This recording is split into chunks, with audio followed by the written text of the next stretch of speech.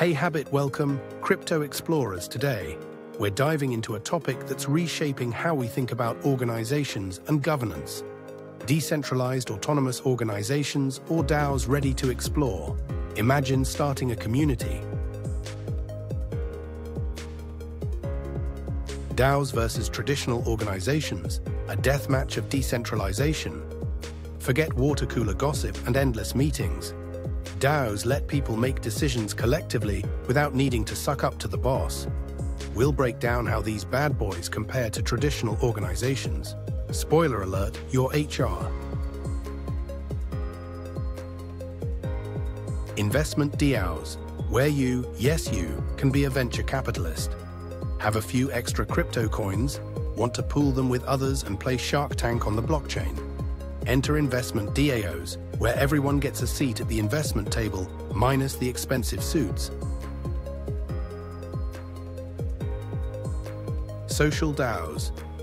Join the coolest digital club in town. Why have a yacht club when you can join a DAO? Social DAOs are all the rage for organizing communities around shared interests, whether that's DeFi, NFTs, or just people who are really into memes. DAO's biggest foes, scalability, security, and the law. It's all fun and games until someone says scalability. DAOs are still figuring out how to handle thousands of participants without crashing like your favorite meme coin. Add in security risks and legal gray areas, and you've got a recipe F.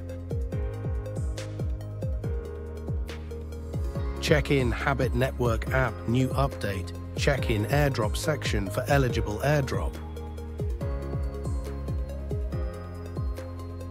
Who knew voting on blockchain could be this fun and complicated? Stay tuned as DAOs attempt to revolutionize democracy and maybe even take over the world.